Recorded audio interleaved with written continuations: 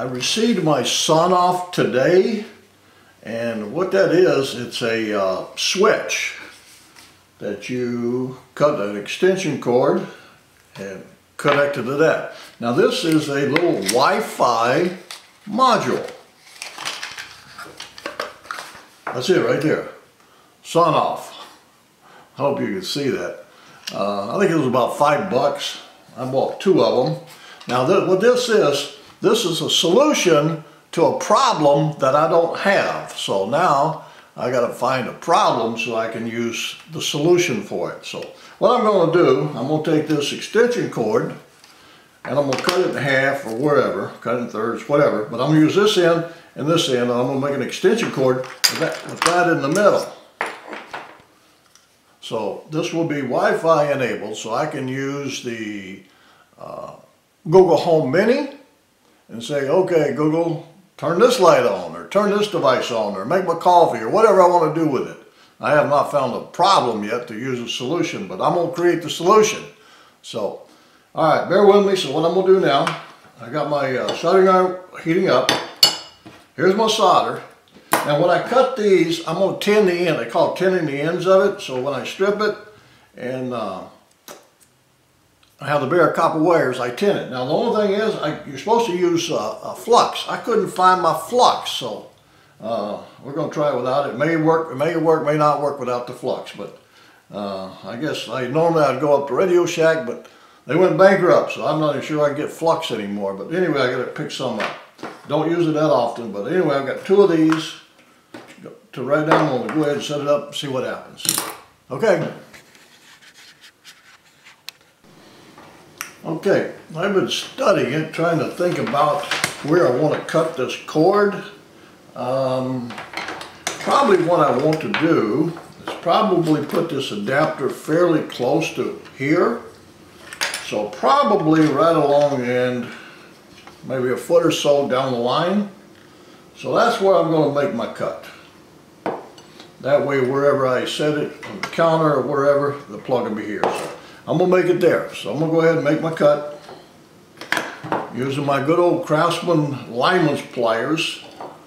And again, these are probably 40, 45 years old. Those original ones I bought when I went to trade school, but they are Craftsman, kind of rusted now, but uh, they don't make good quality tools anymore. But anyway, got that. All right, here we go. We're gonna take that, we're gonna cut it, and then we're gonna strip it.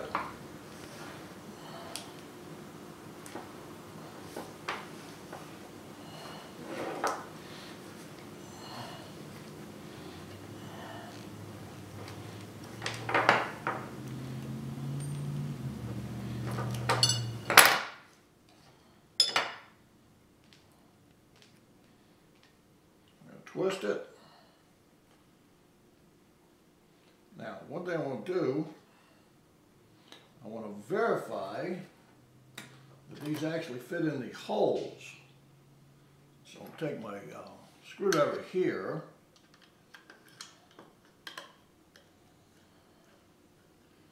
open it up all the way.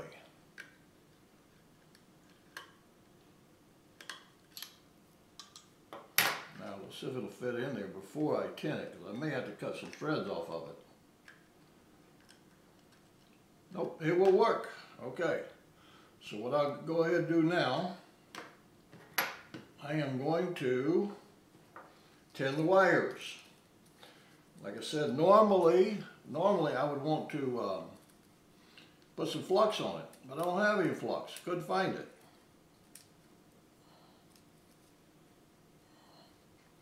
So what we're going to do, this is old, very, very old. Probably as old as me.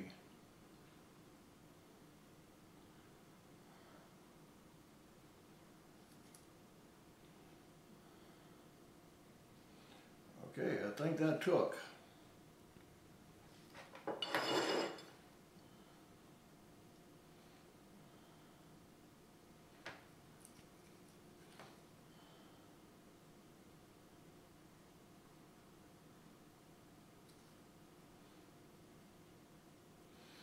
would be much better if I've had some uh, flux, but uh, obviously I don't, so.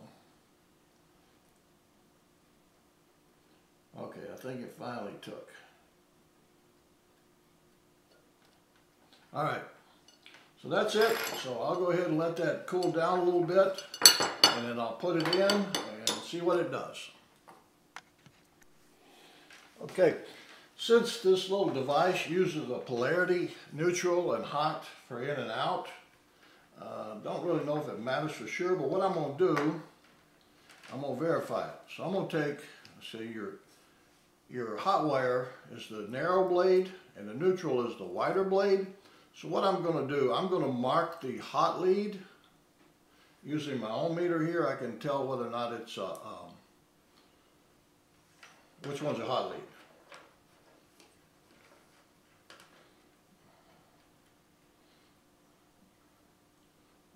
Okay, that one right there.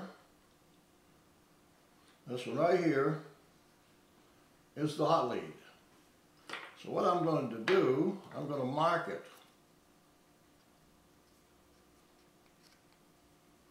Looks like this thing is worn out, but I think it marked it enough for me to know. Okay, so that's the hot one. So I'll go ahead and uh, little cheapo voltmeter I bought years ago, but it works. Okay, now what I will do, it's got input and output. So this is my input. So I'll go ahead and, uh, so I got them 10. It makes them go in real easy. So I'll just open them up. Well, they're already open up. And it says line and neutral. The black side here, the one I marked, goes here. So I'll go ahead and put that in and show you. Okay, I've got it all done. And I just want to verify, which I already did it, but I'll do it again. I just want to verify that um, line, I don't know if you can see that or not. There's a line. And we're looking for the little end, the little probe, okay? Don't know if you can see it.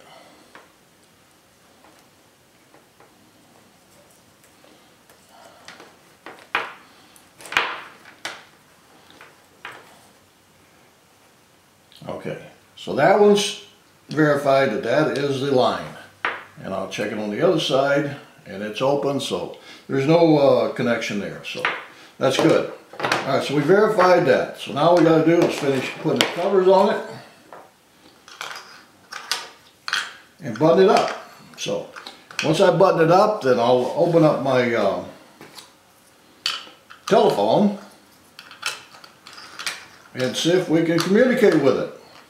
So that's the next step. I got it all buttoned up. Now see if I can communicate. Okay, ladies and gentlemen, I've got it all buttoned up. So now we're going to find out what happens because I am going to plug it into the power. So it may go poof. Okay, it's under power. I did not hear no poof, so. All right, we got power. I see a little green light flash. No idea what that is, but it's flashing. So now, I guess the next step is to figure out how to communicate with it. So, I guess I'll have to look on the internet and see what protocol I have to use. But it's a Wi-Fi. I know I can get the IP address from it. So, we'll go from there. But anyway, hardware-wise, it is complete, and it works. Okay, that's it. I had to go to the Sonoff website and register it and then download the app on my phone. So there it is. Now if I had something plugged into it, power it off, power it on. So it is connected to my Wi-Fi. Uh, everything's worked, so now all I gotta do is attach something to this other end of it and it will be able to turn on and off. So now the next step is to uh, have my Google Home Mini uh, turn it on and off. So I can say, Google, turn the extension cord on or turn it off. So that's what I'm doing. So that's it. It's all done. Simple.